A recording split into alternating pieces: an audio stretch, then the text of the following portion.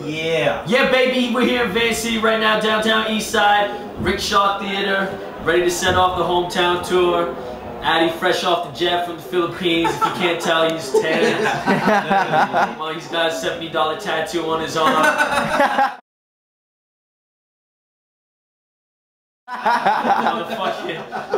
Way better. than- I wish I could get a $70 tattoo. Fresh off the jet.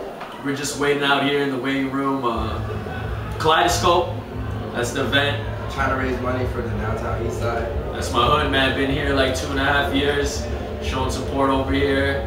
And yeah, we're just waiting to go on. The left is going up right now. Crazy band from Venice City throwing it down. And uh, yeah, after this, going Winnipeg. Peg City.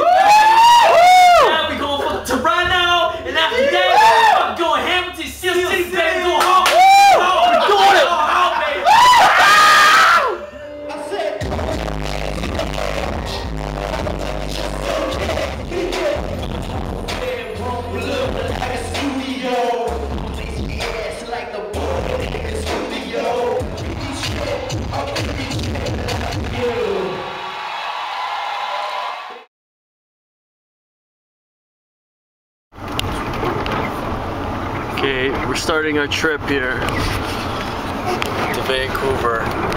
Not to Vancouver, to Winnipeg. Yeah, I'm really tired. Haven't slept. Driving in the Integra. Shout out to Justine for letting us use this. Mike's car got a flat tire, so we're uh, squishing. I forgot my password. No, she didn't forget it. I just told her not to bother him, and then a little boy calls us, telling us that we should bring it just in case, and I don't blame him. He works at the airport, but I also worked at the airport. and ain't no one tell me we gotta be taking no fucking passports to domestic flights. Anyway, it's raining. And yeah, I'm motherfucking tired right now, man.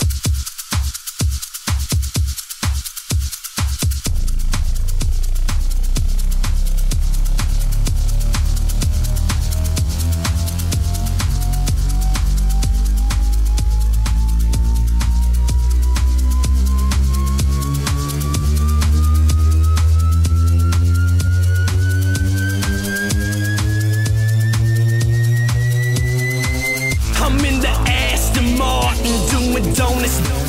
I kill the game and never. Hey, yo, we're uh, on the flight right now. We got got on the first flight available. Chilling here, first class, all five of us. Look at this. Cheers. Cocktails at 8.57. God.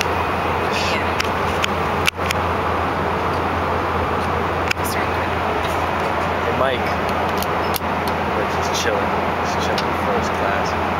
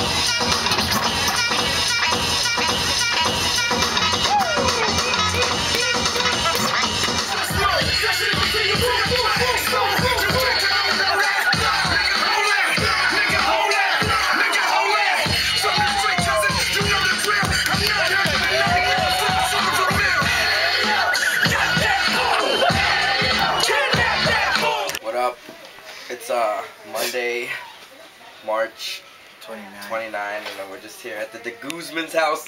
De Guzman's!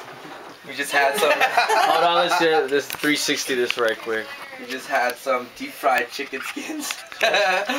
some deep Egg fried roll. chicken skins and some some sort of empanada and ensamada. Deep Egg fried chicken skins. And now we're just getting Big up, Jemmy's Grocery. Jimmy's groceries. Jemmy's Grocery. Yeah, we're just getting ready for a show tonight. We just uh, we just actually heard our song on the radio here on uh, Streetz FM.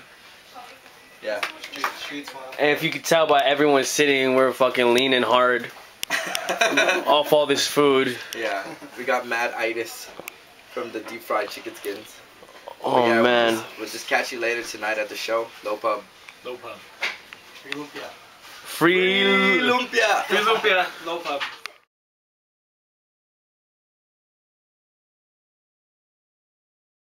Four men from out of province won't soon forget their time in Winnipeg.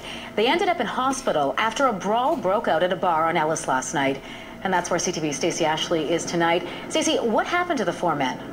Well, all four men were stabbed. The fight started in this pub behind me. It moved across this way through the parking lot and into this park. If you come a little closer, you can actually still see there's blood here on the concrete. Things got intense when around 20 people started exchanging punches. He came for a good time but left on stretcher. This isn't how anyone at Lo Pub Bar expected the night to end. People crying and saying don't do it don't do it sound like a girl's voice and when i heard that i heard a ugh sound like someone got punctured Not one, but four men stabbed. Just after 11, a fight broke out inside the Ellice Avenue bar. all this commotion blood all over the ground Lo Pub's manager Jack Jonason says one man inside became very agitated. Next thing they knew, 20 people spilled onto the street. It was just a bunch of people that were rolling around on the ground, punching and kicking. Jonason took over the bar two and a half years ago. At that time, he says police were showing up three to five times a week. Since then, staff has worked hard to make this a safe place. We established a community. Unfortunately, yesterday, the groups that or the people that were here were people that weren't a part of that community. Each night, the bar showcases different bands and DJs. Fresher than your folks when they immigrated here. Just before the attack, Vancouver's Boombox Saints were about to take the stage. Monday is normally hip hop night, not anymore. Cut it off at the at the at the throat. Um, we uh, you know we don't we don't ever we've never had these kinds of incidents in the bar, and we don't ever want this to happen again. The bar is attached to Winnipeg's Hostel International. Travelers from all around the world stay here.